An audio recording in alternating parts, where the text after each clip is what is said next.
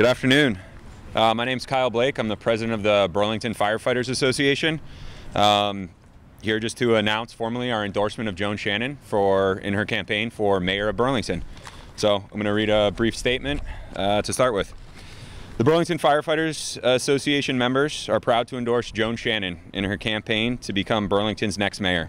While Burlington is fortunate uh, that many candidates that many candidates are entering this race and hoping to lead the city, the Burlington Firefighters Association believes that Joan's prog pragmatic approach to problem solving and her ability to stand her ground on challenging issues is precisely what the city needs right now, and that Joan is the right choice to lead the city forward at this pivotal moment. BFFA members recognize the importance of public safety and have witnessed the city's rapidly changing landscape firsthand. For too long, our members have been experiencing the effects of the political decisions that have left our members fatigued, operating in hostile environments, and questioning their continued employment with the Burlington Fire Department.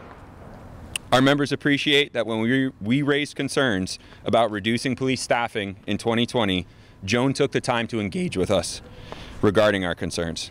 Well, all parties can agree we are where we are now, and what was done cannot be retroactively changed. We support Joan's plan to combine support for those in need with holding those who refuse to follow the rules accountable. We believe this two-pronged approach has been avoided by many on the council and in state government, but we feel this will turn the tide and improve public safety and the safety of our members.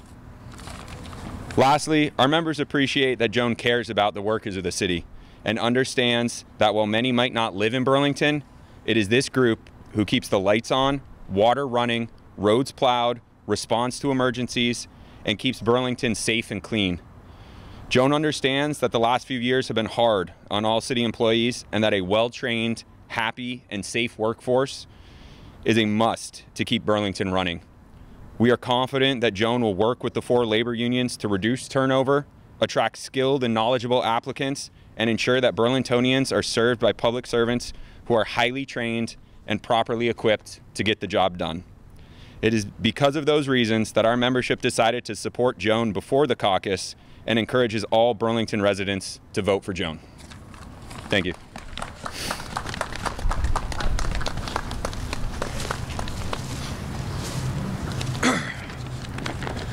Good afternoon.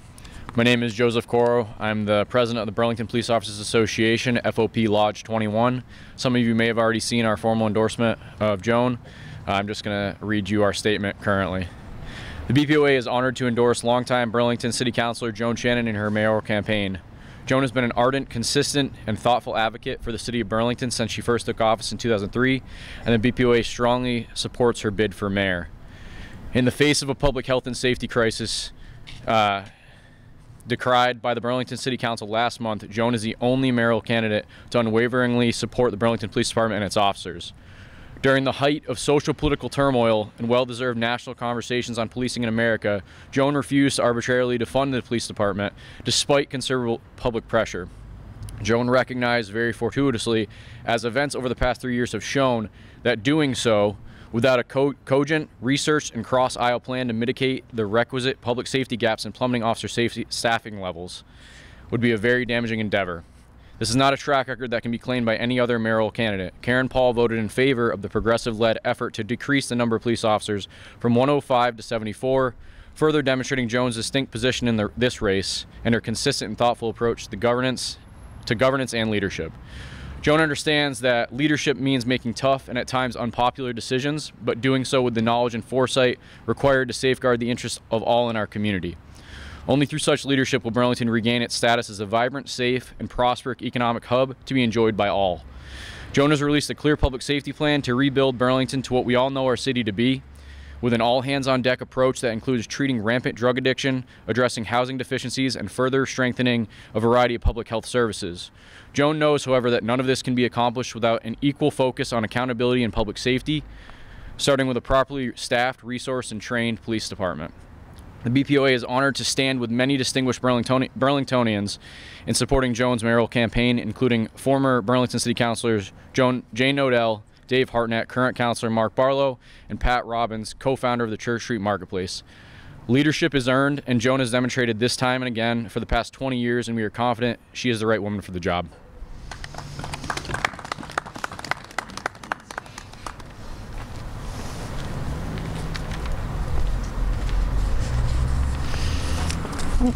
Well, thank you, Kyle, and thank you, Joe.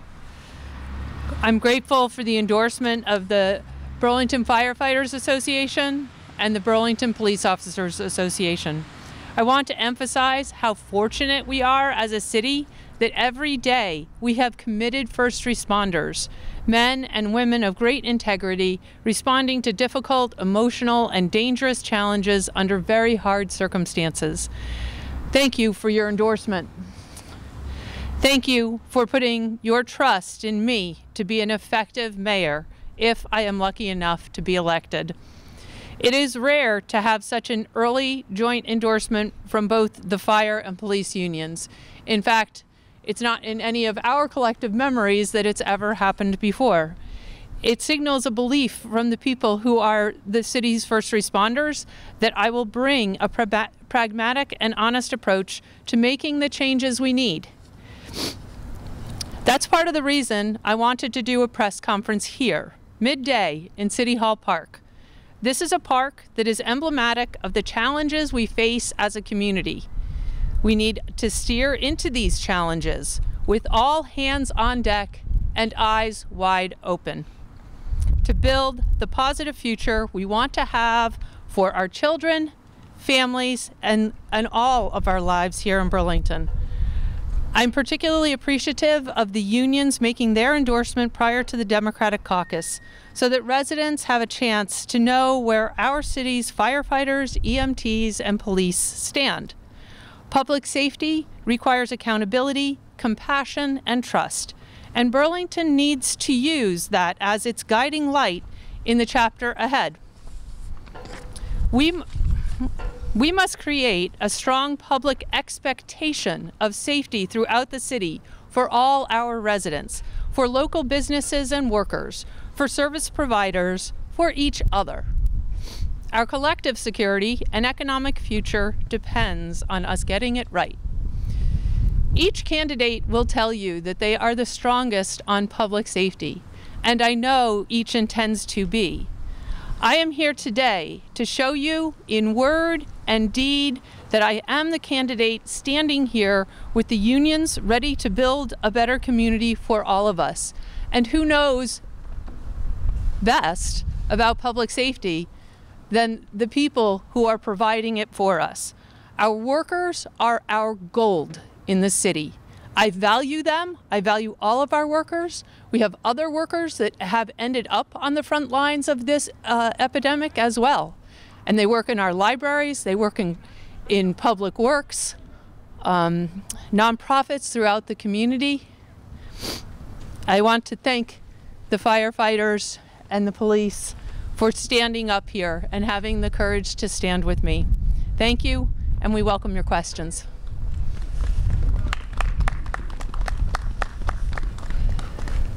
Any questions? Joan, what are some specifics in your safety plan going forward to help all of our frontline workers, including these two unions? Uh, I think in terms of what helps the unions, they're, they're helped when we're better able to provide public safety, when we're better staffed, um, being effective in recruiting um, workers and police officers and firefighters is critically important to the workers that are here now. It's their, it's their future um, a big piece of my plan. The first first element of my plan is actually deterrence, and deterrence is reliant on being able to recruit people to work for the city. This might be a question for the unions, but I wanted to ask sort of why now, why before the caucuses, and, and what was it about um, the issues that made you want to make the endorsements before the parties met for the caucus? Yeah, happy to happy to jump on that. Uh, as Joan mentioned, endorsing before a caucus is something that we typically do not do, and we're not doing this lightly. We understand that this is, uh, in some people's mind, an early endorsement. We felt it was important as a membership to get our voice out there and to let the community know where we stand on this issue, which is public safety, which is employee safety, worker safety and we feel that Joan's track record when it comes to those issues is un, unparalleled by any of the other candidates. And it was something that, with how the caucus works, we felt it's important that the residents know this, and so they can make an educated decision uh, when it's time to cast their vote. So, um, and then additionally, Joan's engagement with us as well. Uh, both Karen Paul and Joan came and spoke to our, our union members. And one thing that really resonated uh, with Joan was her focus on supporting the workers, like she just talked about. Um, because we are, we are the backbone of the city and we're, we keep the lights on, we respond to the emergencies, and if we don't have the proper staffing, training, and equipment, the city suffers just like our employees do. And Joan seems to understand that really well. I wanted to ask too. Um, Yep. Now, in each uh, public safety plan that had been uh, released by candidates, you see some differences, but also similarities. What stood out about uh, Joan's plans to the unions that um, you know sort of initiated this uh, support here?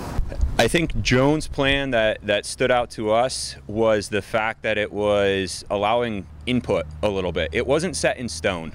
There is some fluidity to it. There are goals, but those goals are going to be, uh, how those goals are achieved are going to be impacted by worker input. Like she said, the men and women before you right now understand public safety in this city better than most, and to allow our input and to engage with us is very important and we think that's critical when it comes to moving this city forward.